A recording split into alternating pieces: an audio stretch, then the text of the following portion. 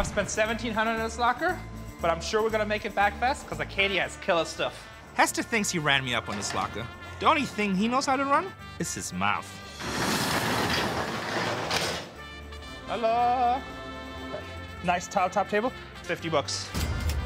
Chairs, 30 bucks a chair. Hey, let's try not to break anything today too, if it's possible. Nice little wrought iron chairs, uh, 50 bucks a piece. Really nice lamp.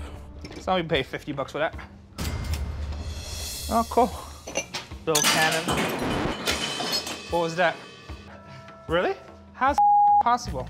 It's not glued on. But would the best choice be put it sideways when we know the top is not on? Because I will cut somebody, I don't care. That's minus 50 bucks. This one is free, the next one you have to pay with blood. Our future. Little motorcycle and little cast iron school bus. Easily, with the box and everything, $200. Oh, check it out, school desk. Somebody will pay 50 bucks for that. People love these old fans. It's easily 60 bucks.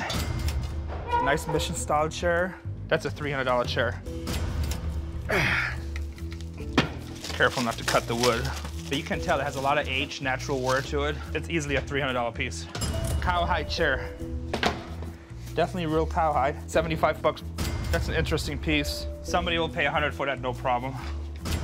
Oh, this is nice. Look at this. Carved legs, carved up here, would guarantee 100 bucks.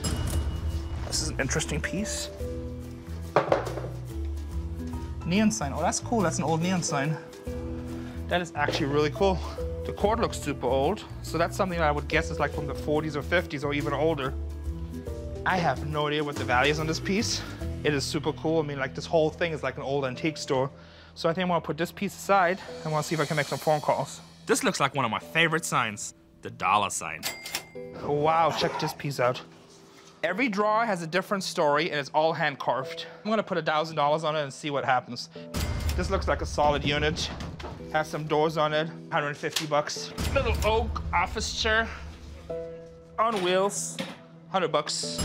This piece right here, somebody will pay 200 bucks, no problem. All right, I've got two boxes. Oh, wow. You know what, I'm not gonna unwrap this, we're just gonna sample it, get a little taste of the goods. I love samples, like at Costco. Oh, this looks like China. Roast China, Japan. Beautiful piece. Lid right on top. Just full bubble wrap stuff. With the gold leaf and a dish in the middle. There's probably like 70 pieces in there. Let's just say $15 a piece per bubble wrap. That's a $1,000 box. The best part about this box, her sister's sitting right there. Yeah! Another one! Which is another $1,000 box. They call these butlers, they're like very English. The artwork is nice, it's marble right here, mirror. I should be able to get like 500 bucks for that piece. And then right here, we got a nice bar, super solid wood. That's easily another $300. I made four grand already, and I still gotta get this sign checked out. My work here is done.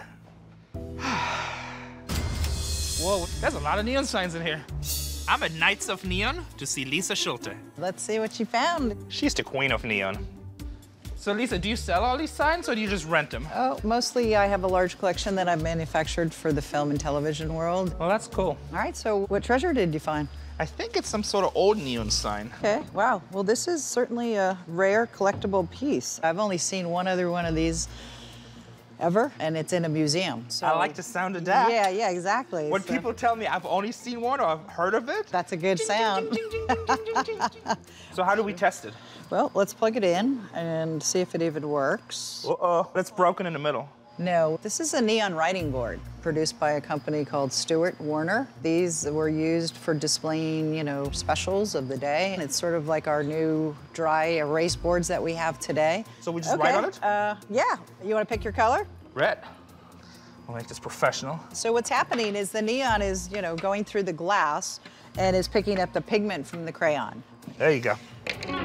So you told me a museum quality sign. Yes. Now what is it worth? Well, you know, this is in uh, excellent condition. The mere fact that this tube is still working, it's the original tube from this piece when it was created in the 30s. I would say at the least, we might, Well, I like the way you're thinking. I hope it's gonna add.